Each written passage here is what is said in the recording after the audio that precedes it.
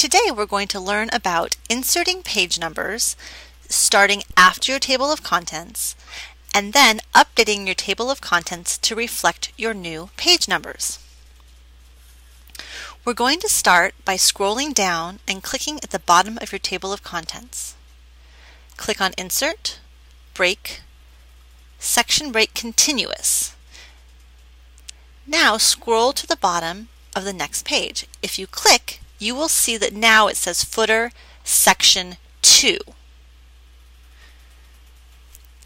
Over in your toolbox, under Headers and Footers, unclick Link to Previous. Now insert your page number at the bottom of your screen. You will see that it starts at page 3. That's okay. We'll fix this in a moment. Click on Page Number Format, Start at 0. Now click OK.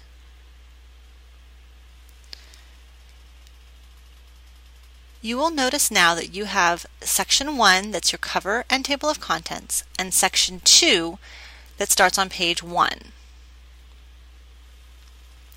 You can align your page numbers to the center, to the right, or to the left.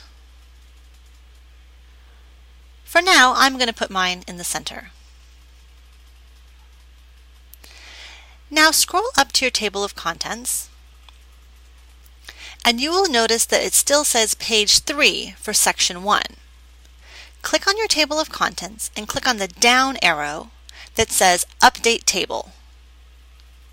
Select Update Entire Table and click OK. You will now see that the section 1 page is now page 1. To double space your table of contents, highlight each row go to Alignment and Spacing and click Double. You now have a table of contents with the correct page numbers, and you have your first section that starts on page 1.